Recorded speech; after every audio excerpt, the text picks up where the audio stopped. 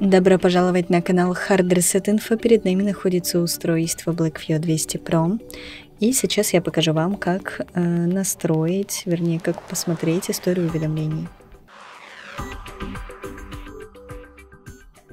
Итак, открываем настройки, проходим в раздел приложения уведомления и здесь выбираем историю уведомлений. Включаем.